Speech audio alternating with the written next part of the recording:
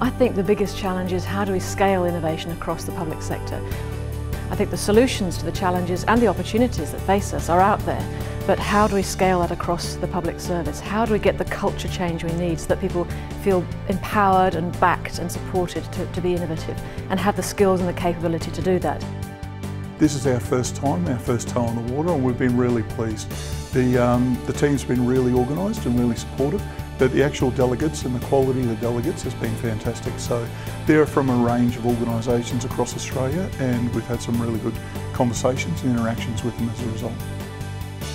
Uh, so my name is Libby Varco. I'm the Director, of Content Design and Strategy at the Digital Transformation Agency. We're here because we didn't want to miss it today. A really great chance for us to connect to uh, lots of people who are working across government, for government, with government, very much in the business of innovation and transformation. So we were really happy to come along.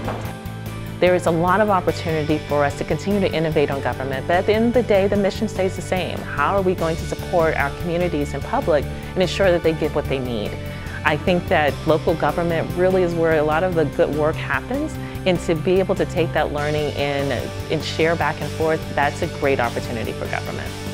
It's really uh, fascinating to see that every year the event grows, good speakers, uh, quality of conversation, which is really nice to be able to have. So, so we fully support uh, what you guys are doing and we hope to keep involved.